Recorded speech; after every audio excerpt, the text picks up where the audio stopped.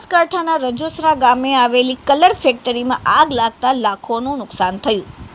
રજોસરા ગામ તરફ જવાના રસ્તા પર આવેલી કલરની ફેક્ટરીમાં અચાનક આગ લાગતા એક ઈસમ ગંભીર રીતે દાઝતા તેને સારવાર અર્થે પાલનપુર ખાતે ખસેડવામાં આવ્યું.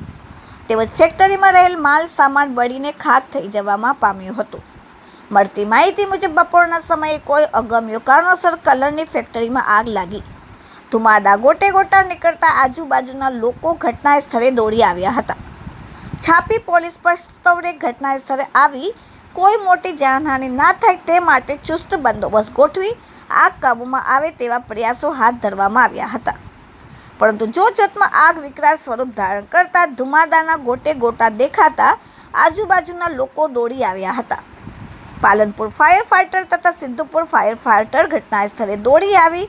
પાણીનો મારો ચલાવી આગને કાબૂ લેવાનો પ્રયાસ કર્યો.